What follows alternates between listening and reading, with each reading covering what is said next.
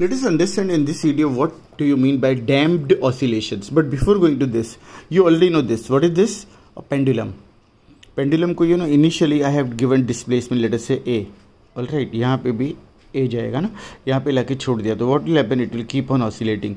But मुझे इतना बताओ have you seen this that if we don't do anything this amplitude will go on increasing or decreasing the motion of this amplitude will go on decreasing as the time increases and finally it comes to rest. This is nothing but damped oscillation.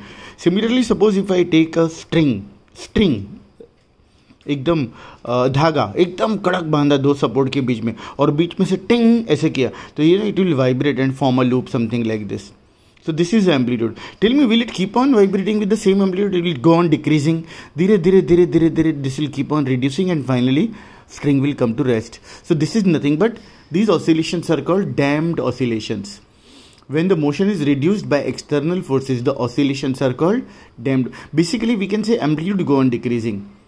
In this amplitude goes on decreasing. Example 1 pendulum. Example 2 oscillation. Now you'll ask me what are the external forces? Pe you can say air resistance and friction at the support. Similarly here air resistance and friction at the support are the main cause of damped oscillation. Basically damped oscillations are a practical oscillation in which amplitude of oscillating body keep on decreasing because of external forces